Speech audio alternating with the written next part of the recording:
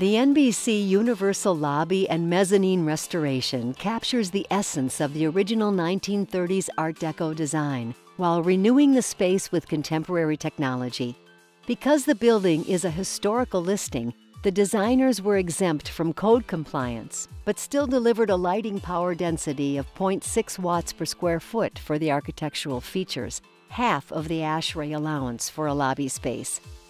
A new custom chandelier of bronze concentric rings is the focal point of the mezzanine, and recessed LEDs highlight the green marble walls.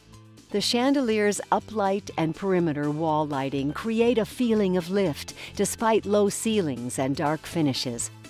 The detailing of the main light fixture and the illuminated coffers, together with the general lighting, restores the space's interior to its previous glory, one judge wrote.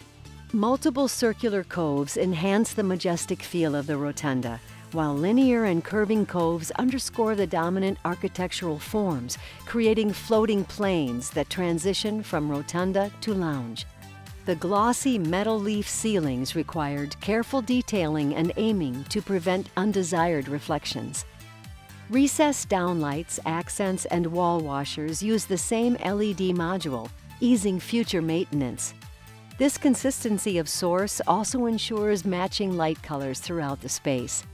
Wherever possible, decorative features were designed to provide sufficient illumination without the need for additional fixtures. Every space in the scheme is connected to a dimming system with scenes triggered by a time clock.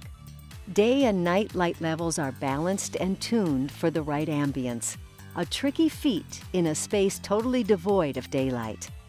At the entrance to 6th Avenue, a gold cove reflects soft uplight, providing comfortable light levels and lending a moment of calm for people entering from the busy street.